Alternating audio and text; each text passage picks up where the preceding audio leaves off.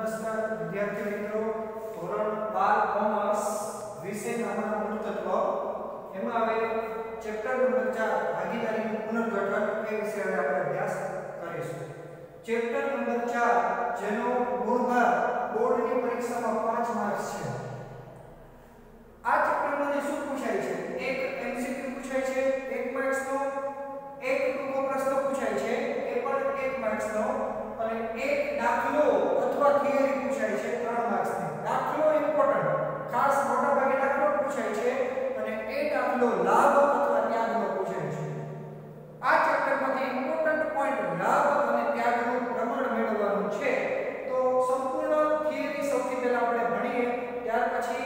પછીના દાખલા પર જાશું. સૌથી પહેલા આ ચેપ્ટર ચેપ્ટરમાંથી જે એક માર્ક્સનો પ્રશ્ન પૂછાય છે, તો સૌથી પહેલા ચેપ્ટરનો અર્થ જાણીએ આપણે કે ભાગીદારીનું પુનર્ગઠન એટલે શું? પુનર્ગઠન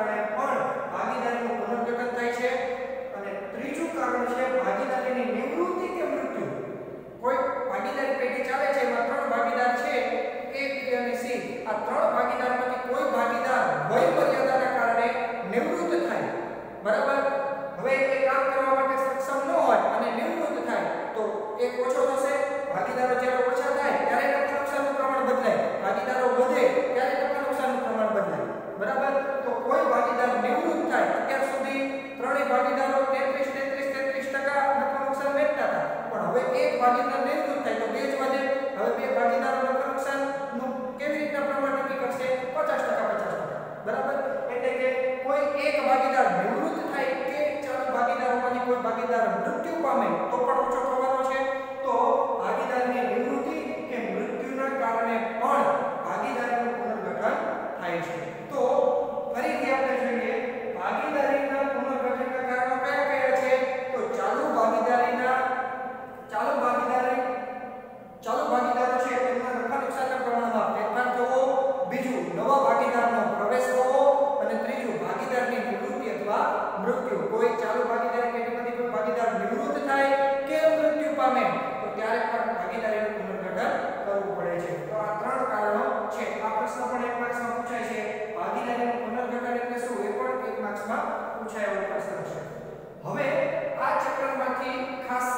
લેજો ચાલુ ભાગીદાર આ પોઈન્ટ આપણે ખાસ અત્યારે ભણવાનો છે.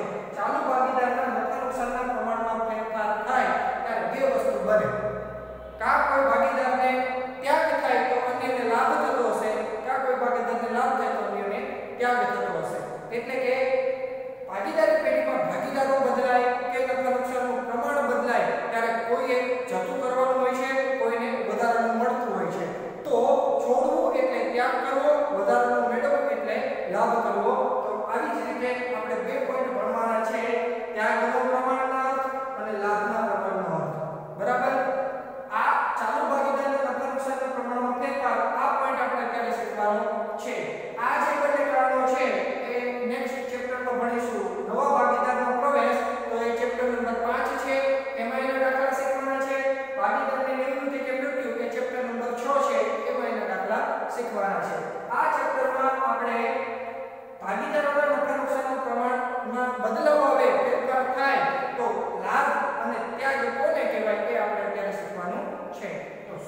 વ્યક્તિના ત્યાગના પ્રમાણનો અર્થ.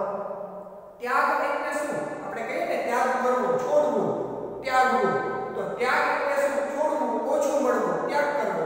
તો ત્યાગના પ્રમાણનો અર્થ આપણે જોઈએ. ચાલુ ભાગીદારો વચ્ચે નફા નુકસાનના પ્રમાણમાં ફેરફાર થાય ત્યારે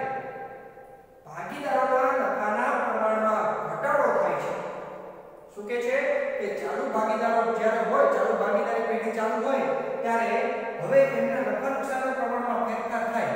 એટલે કે કોઈ જો રો ભાગીદાર પ્રવેશ કર્યો હોય, અથવા કોઈ ભાગીદાર મૃત્યુ પામે, અથવા કોઈ નિવૃત્ત થાય, કોઈ પણ કારણ હોય, અને નફા નુકસાનના પ્રમાણમાં ફેરફાર કરવાનો હોય, ત્યારે અમુક ભાગીદારોના નફાના પ્રમાણમાં ઘટાડો થાય.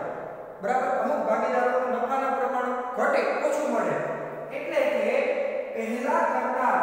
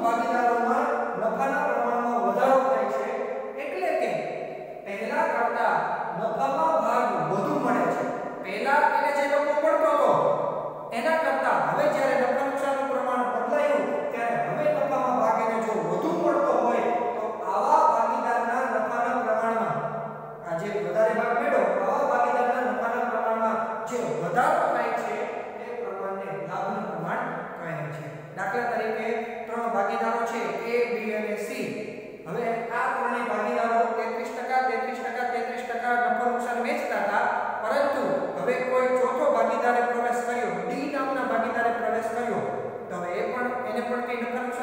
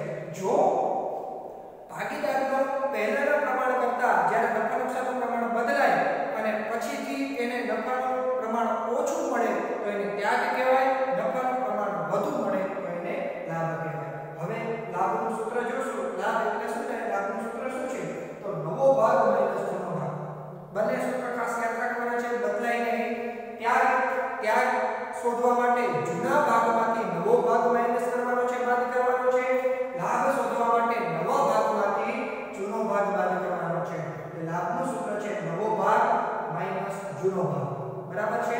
હવે એ દાખલો ગણવા માટે એક નોંધ છે કે જ્યારે લાભનો દાખલો ગણો, ત્યારે જવાબ જો ધન મળે, તો લાભ થયો છે અને જવાબ ઋણ મળે, તો ત્યાગ કર્યો છે એમ કહેવાય. તમે જે સૂત્રનો દાખલો ગણો છો ત્યાગનો દાખલો ગણો, તો ત્યાગમાં જવાબ જે પ્લસ આવે એને ત્યાગ કહેવાય. જવાબ માઇનસ આવે એને લાભ કહેવાય. જેનાથી વિરુદ્ધ લાભનો દાખલો ગણો, તો લાભના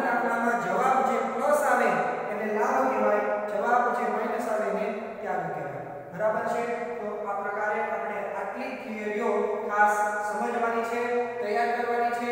એના પછી આપણે આગળ દાખલાઓ જોશું. આ લાભ અને ત્યાગના દાખલાઓ છે કે ચેપ્ટર 5 ચેપ્ટર 6 માં પણ આપણે ઉપયોગ કરવાના છે. એટલે આ દાખલાઓ ખાસ આપણે તૈયાર કરવાના છે. એકદમ સિમ્પલ દાખલા છે. માત્ર નાના